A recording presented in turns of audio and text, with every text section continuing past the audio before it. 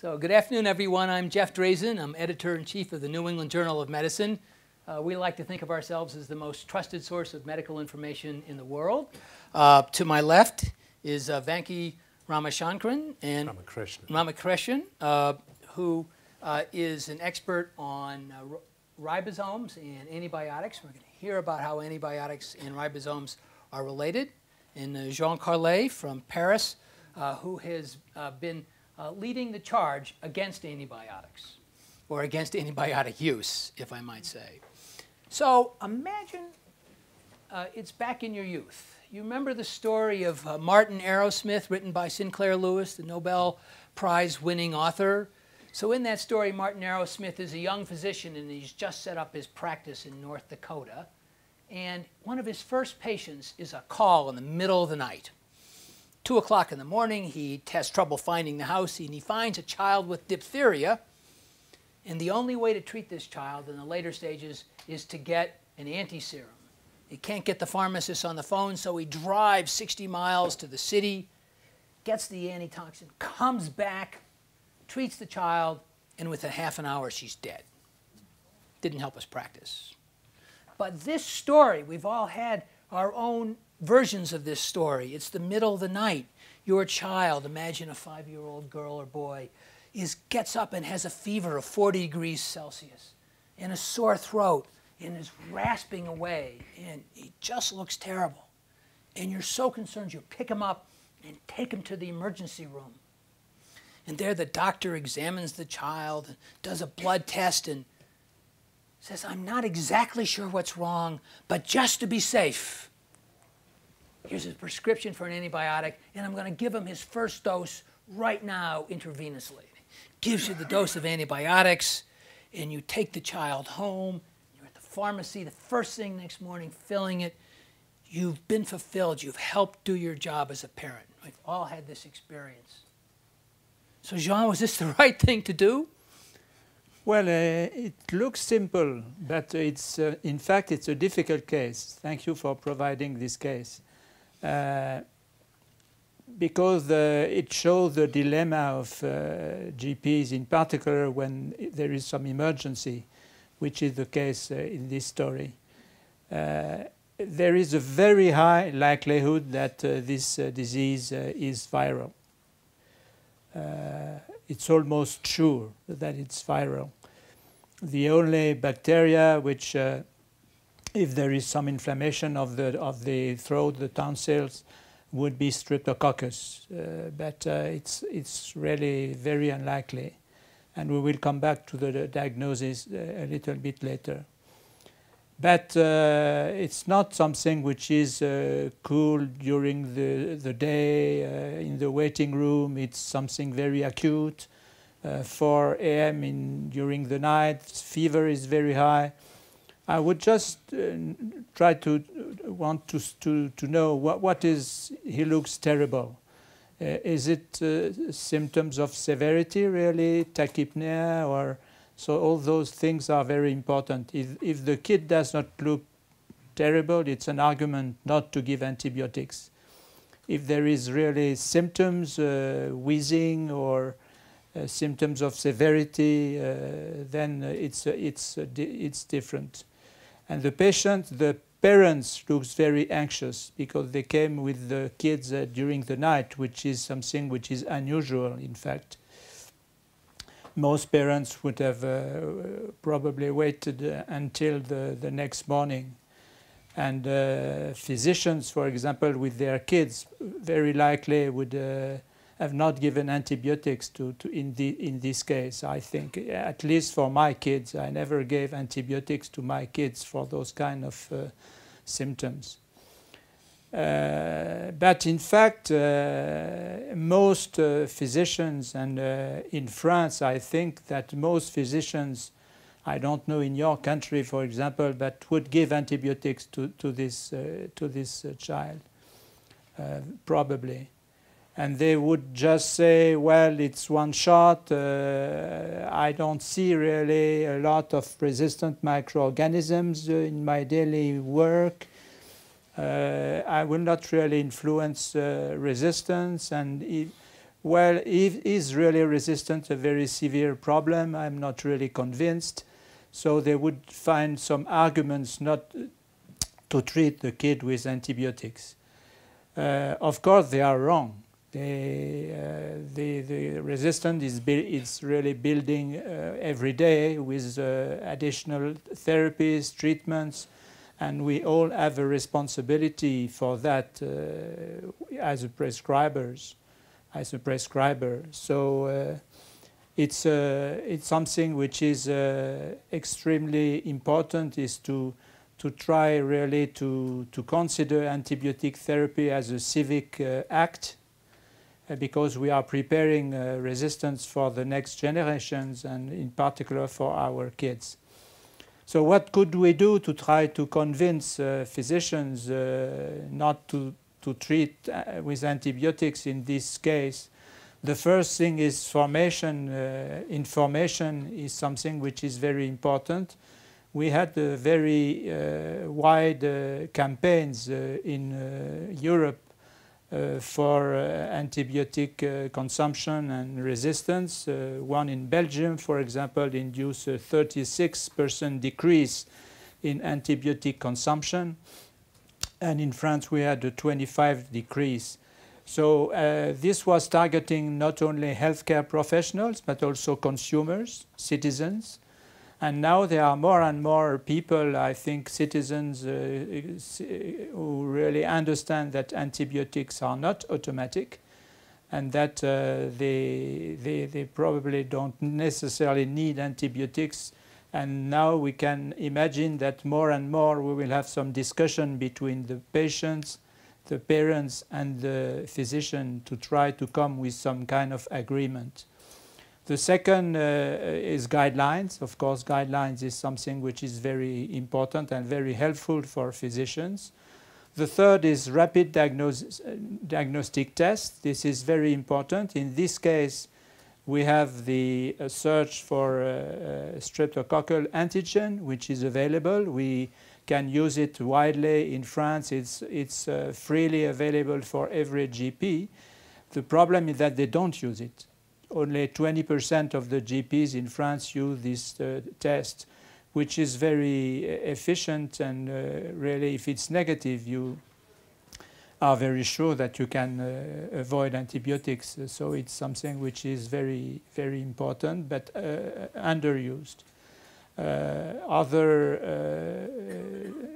ways is the education. Of course, it's very important for students and uh, also for kids. There are nice programs nowadays in Europe uh, called eBug, which is a program uh, for education of the kids uh, related to infectious diseases, uh, hygiene, and uh, antibiotic resistance. And of course, continuous medical education is something which is key, and we really it should be, be something really mandatory. Those kind of modules should be mandatory.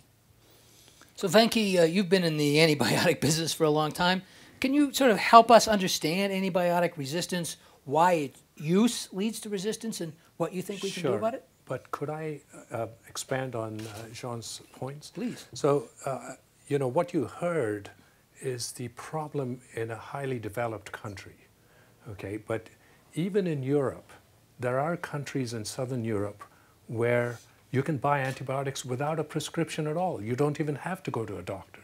And in developing countries, this is almost the norm. And in poorer countries, what happens is people cannot afford to go to a doctor, so they go to a pharmacist. The pharmacist says, oh, this is the best antibiotic for, for you. And they'll sell them the, the most advanced sort of third generation antibiotic because they're poor, they won't buy a whole course. They'll only buy uh, just enough so they start feeling better. And then that's how resistance spreads. They often will uh, prescribe antibiotics prophylactically. Forget your sore throat and high fever. They'll, they'll prescribe it in case they might get a high fever, you know, because they've gone through, say, childbirth or, some, or they're in a hospital or something like that. So this is a global problem, and we cannot uh, any longer separate developing countries from uh, advanced countries. uh, because people are crossing over, they're bringing bugs back and forth.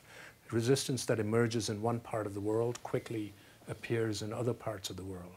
So I think it's a, a, a problem that has to be tackled internationally, um, nation by nation, of course, but also there have to be some concerted efforts to tackle uh, the sort of uh, policy issues involved with antibiotics.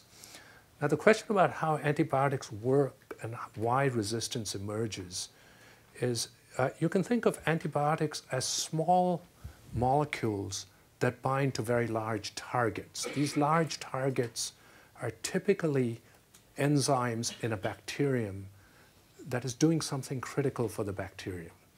And the small molecules tend to fit in a tight pocket in these large molecules so that the large molecule is unable to do something, do its job.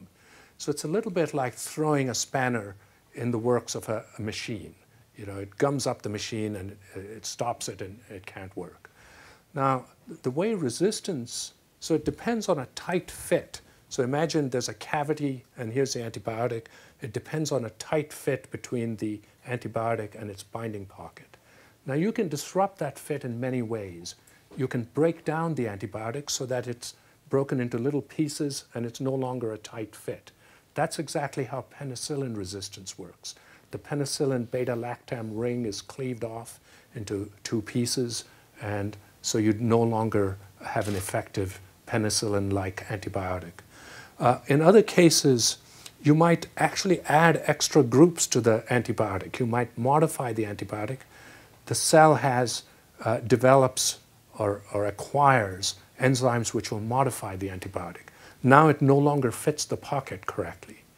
And a third one is to modify the pocket itself. And so the antibiotic, when it tries to go into the pocket, doesn't fit. And finally, cells sometimes have pumps. These are, these are things in the membrane of cells, of the bacterial cell, that take antibiotics and pump them out of the cell. And when they acquire these pumps, uh, then if you give them the antibiotic, it's quickly ex uh, extruded from the cell, and uh, so the, it, it's no longer effective. The point is, there are multiple ways in which antibiotic resistance can occur, and uh, the only sort of constant thing is that uh, no matter how good the antibiotic, resistance always seems to emerge. And for instance, vancomycin was thought to act in a way that uh, resistance could not actually uh, occur, but 30 years after vancomycin was discovered, eventually a resistance to vancomycin did develop. There's been a report of a new antibiotic which seems very promising, and again, uh, the suggestion is that because of the way it acts, uh, it may be very hard to uh, acquire resistance. And I believe that it may well be very hard to acquire resistance, but I wouldn't bet on resistance never emerging, uh, even to such a, a compound. So, uh, have we overused antibiotics? Uh, I know that in my practice in intensive care medicine, people come in with an undefined illness, but if it's characterized by fever and a lack of, a, of an immune response because of an altered host, we get out every antibiotic in the book, and if that doesn't work, we add a few more. Uh, and you know we're doing this in the the goal of trying to save lives. Uh, and when we clone out a resistant antibiotic, right? It's Darwin in action the, any, the bacteria that is resistant to the antibiotic is the one that succeeds, and now it's in the hospital environment. So are we making mistakes? Should we change the way doctors are taught to treat these infections? Is uh, the treatment of that single immunocompromised host worth it for the rest of the community, or should we be laying off? I'm uh, wondering whether there are other things that physicians can do to fight infections other than give antibiotics. Well, there is something which is very important is diagnosis. So there are sometimes people don't really try to, to have a precise diagnosis. So they, they just treat fever. Uh, it's exactly the opposite that you should do. Never treat just fever and try to have the diagnosis as soon as possible uh, so that even if you start antibiotics, you can uh, afterwards, uh, after two days, for example, de-escalate, uh, stop antibiotics if is there is no infection. So this is uh, extremely important and, and to try to do the diagnosis before start starting antibiotics. So it's uh, in the ICU is something that we uh, always try to do, at least in uh, in the ICUs in my country, really uh, reach a diagnosis. I, I, completely agree. I think rapid diagnostic kits um, are going to be very helpful, and it may be possible um, to have different types of diagnostic kits depending on the region you know, depending on which are the most common bacterial infections in a particular region, you may have a sort of array or a library, uh, and you, you take a sample and you can immediately tell if one of the sort of six more most common uh, infections are present or not. And I think that uh, seems to me a very rational way to go. And this is an area where, of course, industry uh, can greatly help by the development of these kits. So I think we're learning more and more uh, about the fact that uh, we live in a microbiome. There's one of us and hundreds of millions of bacteria in our gut, on our skin, in our environment. There are more bacteria in you than there are you in you. Right. Yeah. yeah, I know. People have told me to bug off on many occasions. Uh, so, but one of the questions is, uh, is there a long-lasting effect, right? I've uh, I, let's say you I have a, a diagnosed infection that uh, there's an antibiotic to treat, but we know that if you don't treat it, you're going to get better in three or four days. If you do get treated, you might get better in one or two days. And that one or two days of additionally being ill isn't going to kill you. You might be sick. But is the modification of your internal microbe structure by the antibiotic something that lives on after your antibiotic treatment? And is that worth the risk? I'm not sure I know, but I do know that certain um, antibiotics have altered your microbiome so much that they've uh, lodged bacteria like Clostridium difficile yeah. uh, in your gut, which are then very hard to treat with antibiotics. And in fact, they've been treated by introducing normal antibiotics into your gut, uh, and which then sort of drive out the disease-causing antibiotic. So uh, you, you, misspoke. You said normal antibiotics, but I think you meant normal bacteria. Sorry, normal bacteria. That's right. By introducing normal bacteria, uh, which are normally present in your gut, but which have been eliminated due to antibiotics, if you reintroduce them, uh, they have the uh, effect, in many cases, of driving out disease-causing bacteria by outcompeting them uh, uh, in, in your gut. So I think this whole microbiome research is, is taking on a very interesting uh, turn, and it, that may be yet another way to treat uh, infections, certainly intestinal bacterial infections. So, as a little bit of background for those of you without a, a medical training, uh, there's an organism called Clostridium difficile. That's the name of the family, and it's got many actors, some of which are, are really bad, some of which aren't so bad, but when you take an antibiotic, this organism is not sensitive to it, and so it overgrows and it produces a toxin which gives people terrible diarrhea. In fact, it can be fatal. The, so a side effect of antibiotic therapy uh, can be worse than the disease itself. So Jean, how, in, how, how do you deal with these kinds of problems? How do you work to avoid uh, antibiotic-associated illness? Well, it's not easy to, uh, to avoid this completely because uh, as soon as you have some elimination in the gut of the antibiotic, you might have this, this problem. Uh, there are antibiotics which are heavily eliminated in the gut, like ceftriaxone, for example, and uh, it's uh, worth trying to avoid this uh, antibiotic. there are some other ways, in particular, try to entrap the antibiotic in the last part of the ileum with charcoal, and uh, then the antibiotic is still absorbed, but it's not eliminated in the colon anymore. so the side effect of the, the antibiotic is, uh, is prevented. So uh, we've been at it for a little while. I'm now asking the audience questions about antibiotics, antibiotic use, our husbandry of the antibiotic availability. Uh, questions that you have for uh, Venki or Jean, please. I'm- Tell us who you are. I'm Jara Jackson, physician, United States. Um, I agree with you that antibiotics are, are overused, but I do have a question. Should we be looking at completely eliminating the use of prophylactic antibiotics? Because there are people with certain diagnoses who, when they go in for certain procedures, they need prophylaxis. I did OBGYN, and there are certain procedures that we prophylax patients for in order to prevent certain post-op complications. And again, that contributes to resistant uh, bugs. So how do we approach those, uh, those issues?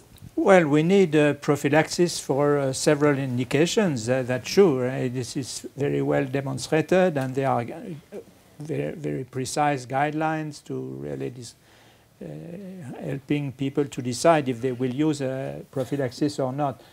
The the point is that now prophylaxis is very short. It's, it's usually only one bolus just before the surgical procedure or sometimes the second one if the procedure is long enough. So then the risk of uh, selecting uh, resistant microorganisms is, is li- limited. But still, uh, it's a risk, uh, but uh, we have to take this risk because uh, if not, uh, post-op uh, infections are sometimes dramatic. Uh, Yes. Al Sommer, Johns Hopkins. Um, uh, you're dealing with a huge issue, and God bless. Uh, but uh, Dr. Ramakrishnan raised an interesting issue, which uh, perhaps he and others can address, and that is the over-the-counter availability in developing countries. And there's some suggestions, I don't know how much proof there is, but people have suggested that in fact, a lot of the reduction in mortality in the developing world is in fact because people could get antibiotics, especially when they could get penicillins and the, and the oral, uh, early cephalosporins and so forth available. And that, in fact, did away with a lot of pneumonia that otherwise would not have been, and diarrheal disease that wouldn't have been. I don't know if you have any feelings about that. And then how do we begin to put that into the equation? Yeah, so I'm, I, I, I really don't know anything about the statistics for whether this sort of use has had a, a fringe benefit. You know, clearly the individual thinks there's some benefit, and that's why uh, they're doing it.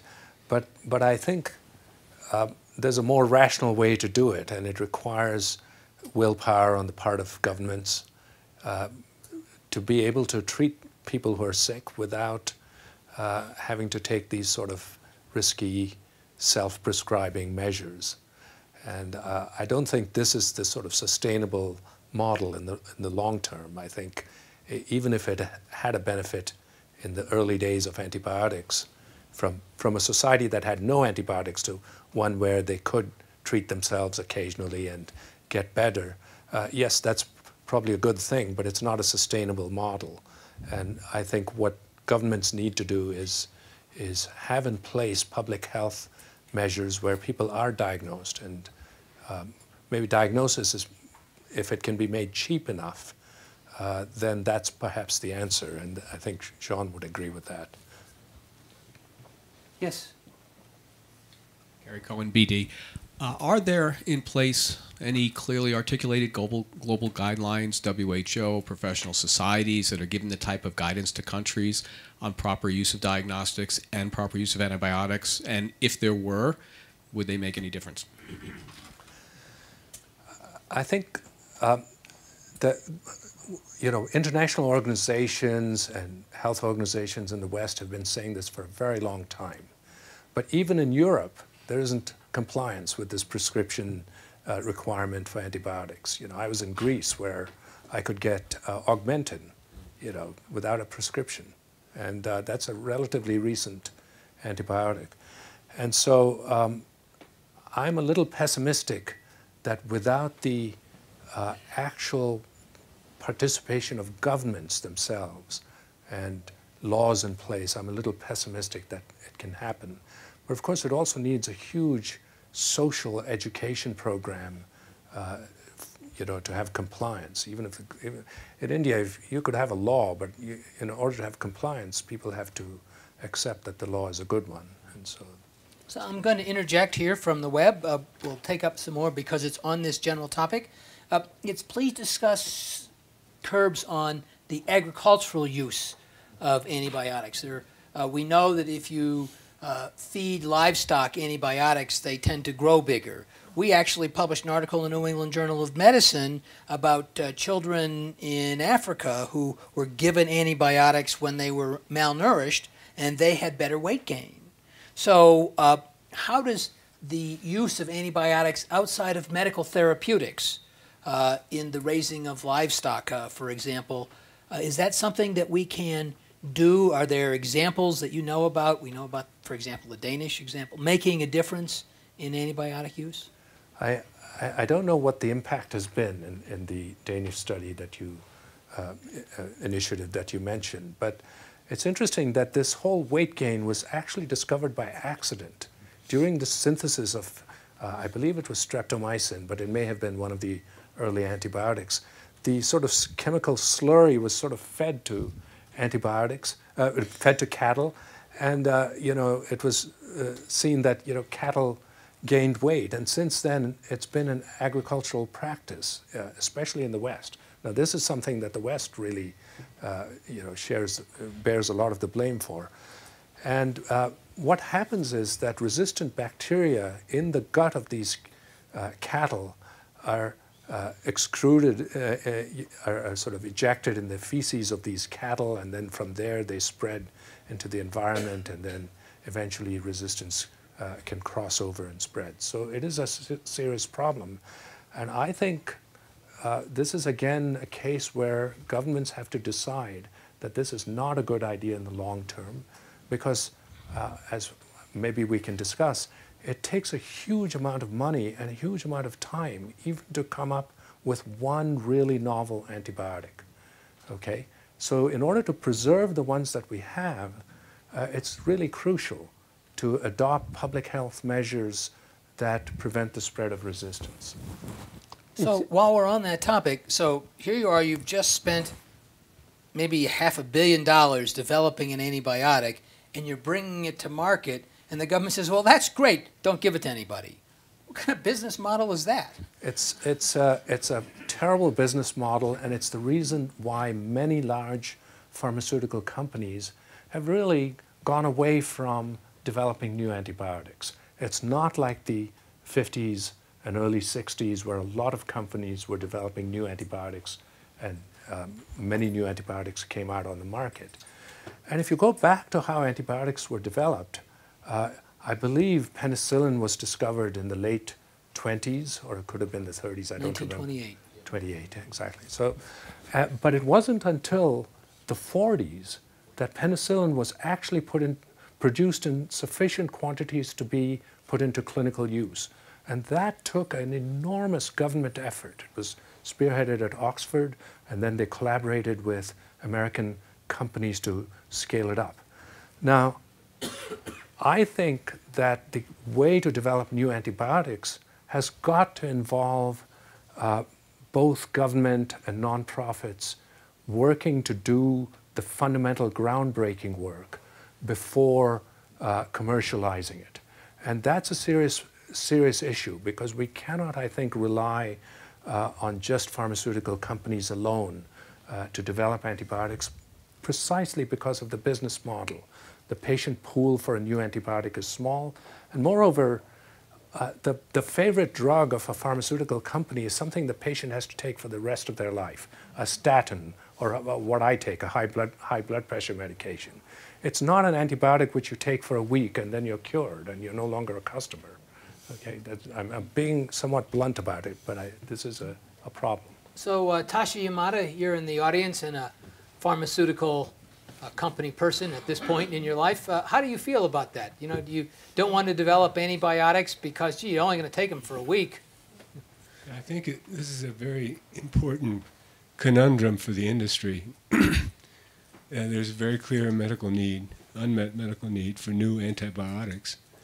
Uh, yet the, the standards of uh, uh, quality and the uh, cost for making these antibiotics are every bit as high as for any other product.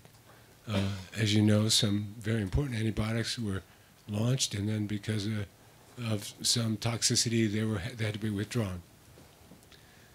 The biggest issue is that these antibiotics have limited patent life. So when you launch the product, if the product is not taken up quickly, it's very difficult to obtain a financial return for the investment.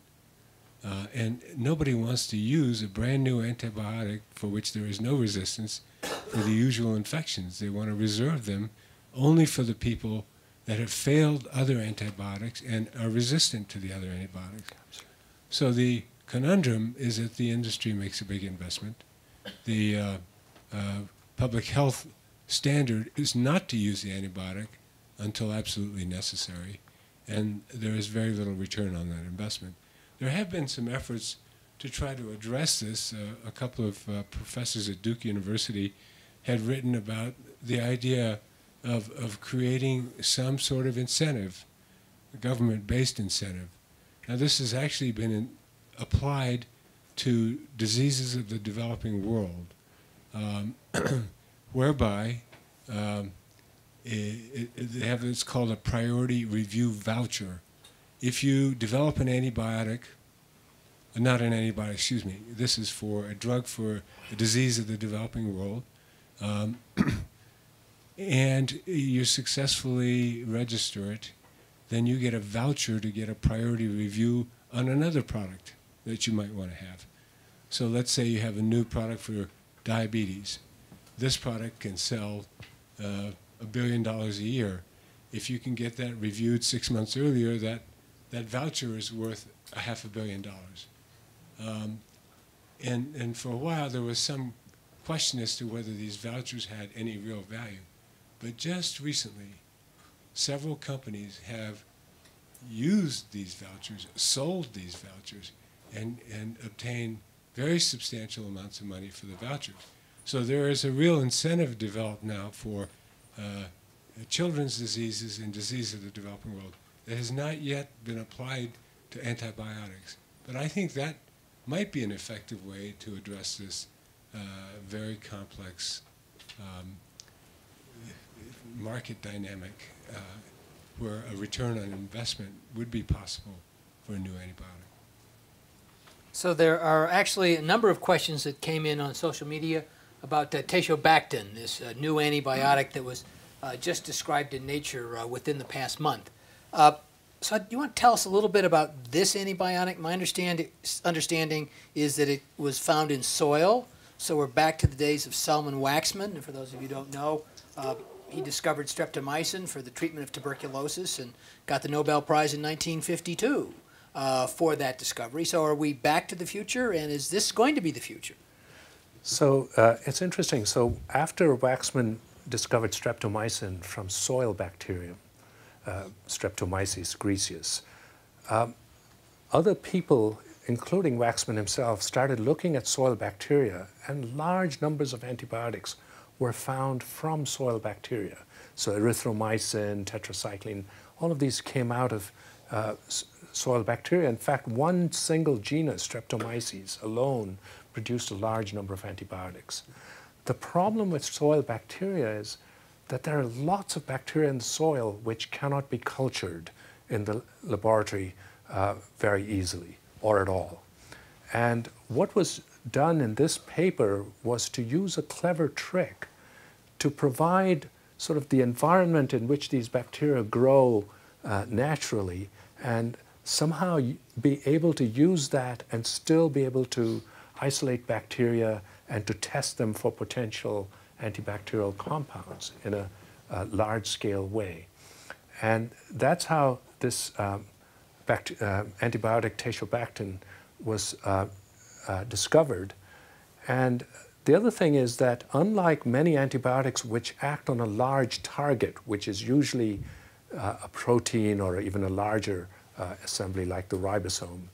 Uh, this actually works by binding to a, a, a, precursor of the cell wall. And so in some ways it's similar to vancomycin. And when they tested it, it has, uh, you know, resistance, uh, you know, lack of resistance developing even after many uh, serial dilutions. So it's more vancomycin-like uh, in its uh, properties.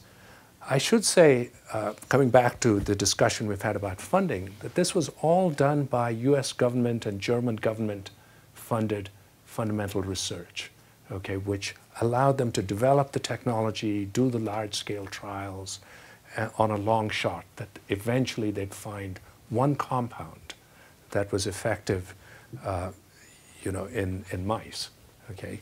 But there's a long way to go. You have to show that it's effective in humans.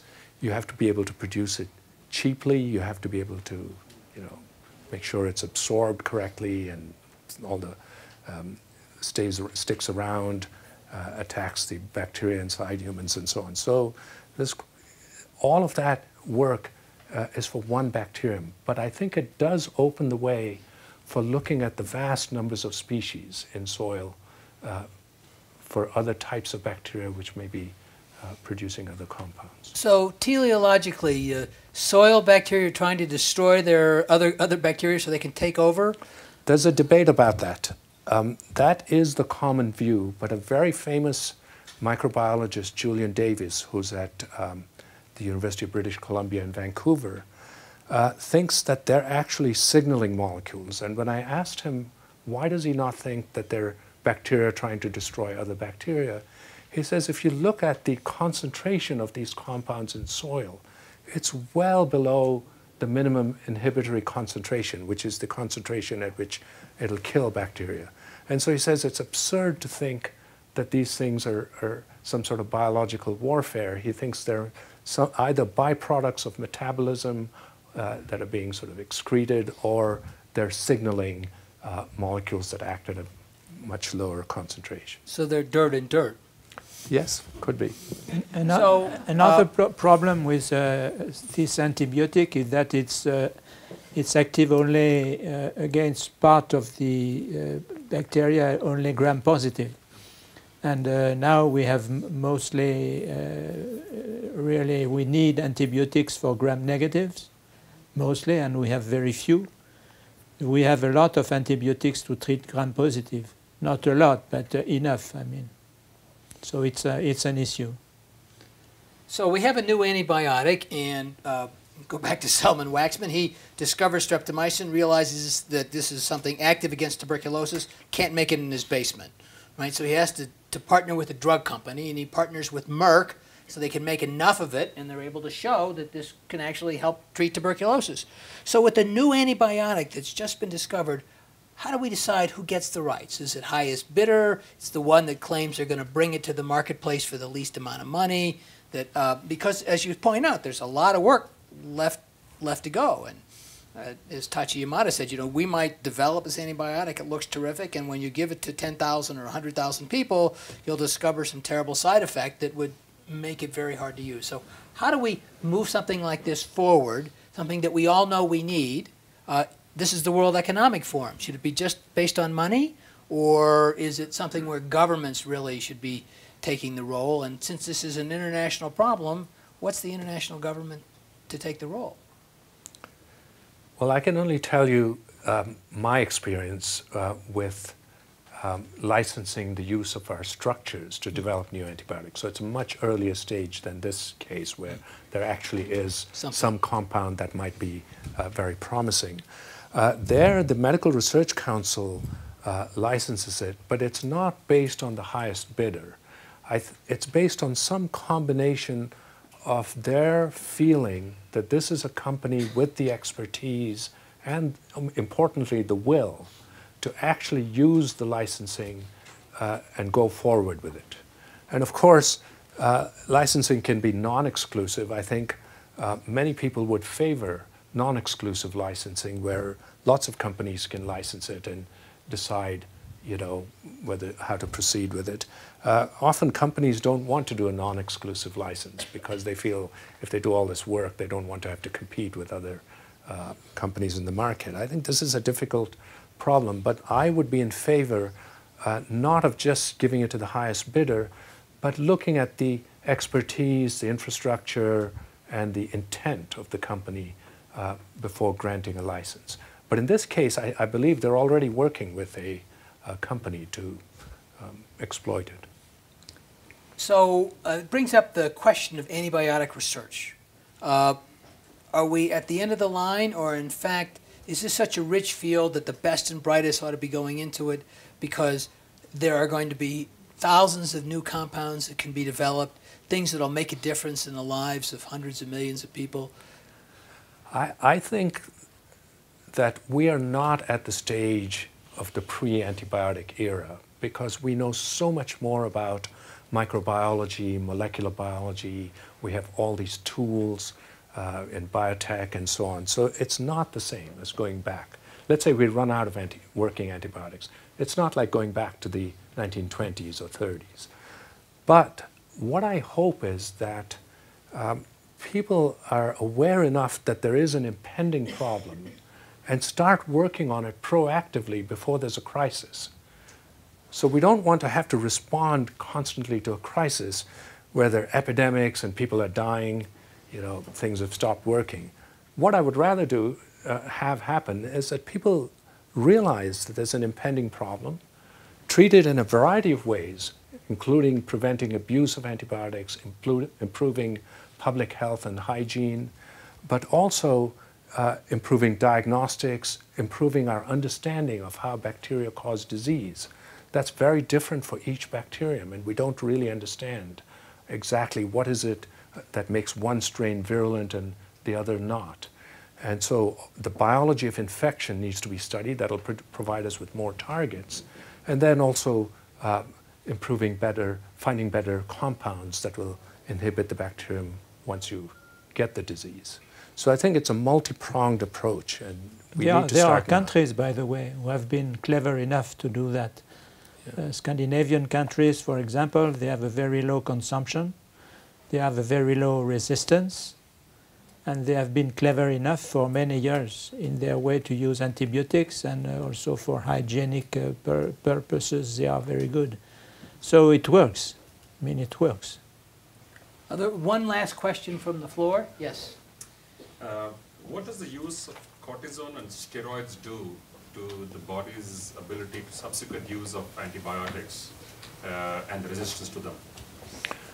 Well, I'm not a clinician. Would you like to answer that? No, I don't really know. Uh, no, I, I cannot really tell you the, the answer of that. Very long-term use of steroids will cause immunosuppression. Yeah, yeah this is different. But uh, you mean uh, acute effect on antibiotic uh, what absorption or? Yes. Well, it's, resistance it's, it, it's, yeah. it's a mixed bag. Uh, we, we know in certain infections, such as uh, meningitis, especially tuberculous meningitis, that the inflammatory response is worse than the infection. So in that case, treatment with steroids to dampen the inflammatory response actually improves outcomes.